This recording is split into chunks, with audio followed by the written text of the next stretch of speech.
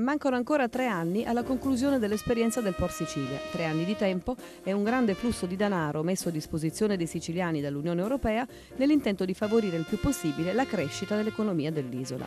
Ingenti fondi dunque da utilizzare al meglio in un'occasione certamente irripetibile.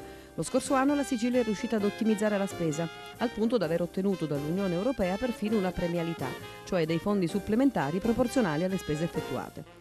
Il consuntivo parziale per l'anno in corso invece appare un po' diverso. Dei 7 miliardi e 600 mila euro messi a disposizione è stato impegnato circa il 47% e di questo soltanto una parte è stata realmente spesa per la realizzazione dei progetti.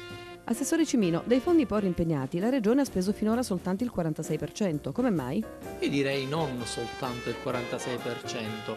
Ha di fatto raggiunto oggi la quota del 46%, ma noi stiamo cercando di certificare, eh, di certificare le varie iniziative. Sicuramente vi sono stati dei ritardi dovuti anche a dei ricorsi presentati nell'autorità giudiziaria e stiamo cercando in tutti i modi di raggiungere gli obiettivi che ci siamo prefissati Ritengo che in questi anni il Dipartimento Programmazione ha, dato il massimo, i risultati li stiamo raggiungendo proprio perché la nostra regione ha avuto grande credibilità e autorevolezza nel panorama europeo e con la nuova eh, modifica del complemento di programmazione stiamo cercando proprio di accorpare le diverse misure per accelerare ancora maggiormente la spesa e dare forti segnali al territorio e alle attività produttive.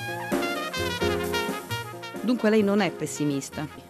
No, non, non, ci sono seri problemi proprio perché abbiamo eh, lavorato bene, il governo è stato fortemente presente nelle diverse interlocuzioni anche con il governo nazionale e con la comunità europea e posso rappresentare come anche dalle riunioni con i diversi dirigenti generali i risultati da qui a breve si vedranno perché alcune risorse non sono state spese, non sono state certificate per eh, riuscire a mantenere sempre alto il criterio criterio della trasparenza e quindi soprattutto quello del rispetto di alcune procedure che purtroppo in Sicilia sono delle procedure a volte anche lente.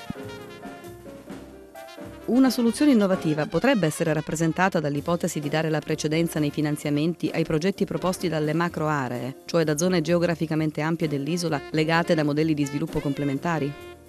In questi anni si è lavorato proprio seguendo questo obiettivo, l'obiettivo di valorizzare i distretti produttivi, i distretti industriali. Ricordiamo che l'idea dei patti territoriali o dei piani integrati, ter o dei piani integrati territoriali è quella di volere non più rappresentare il finanziamento a pioggia con una singola impresa, ma bensì riuscire a finanziare una pianificazione territoriale che rappresenta eh, una, un settore dell'economia della nostra regione. Ricordiamo i patti agricoli, i patti turistici e così anche i diversi piani integrati territoriali che si collegano proprio all'abbandono dell'idea del finanziamento a pioggia per recuperare il finanziamento integrato. Così noi stiamo già di fatto lavorando a dei nuovi bandi che sono quelli indispensabili nel nostro territorio per la rivitalizzazione delle città, i nuovi accordi di programma quadro, cercando sempre la eh, giusta interlocuzione e rappresentazione con le realtà locali.